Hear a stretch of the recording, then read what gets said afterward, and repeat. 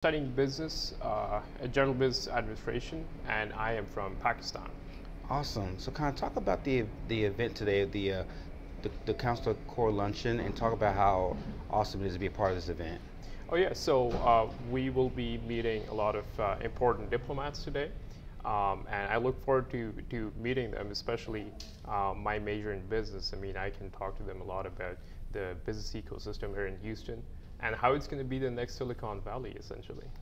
Awesome. Talk about the, uh, the, the transition coming from Pakistan to this country. How's that been for you so far? Um, essentially, in the beginning, it's a little hard, but um, you know, you get used to it. You know, international students always do.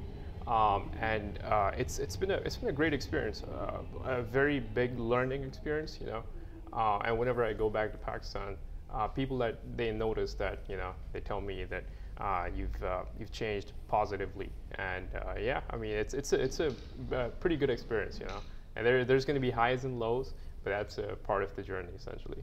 Awesome. For um, what's some of the highlights of, of being in the international student program that you that you experienced so far?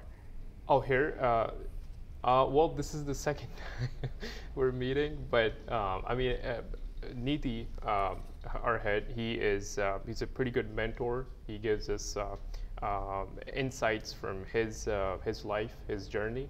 it's he's a he's a pretty good mentor in the sense that he pushes you to do new things and you know essentially do things out of the out of the box. You know, so yeah.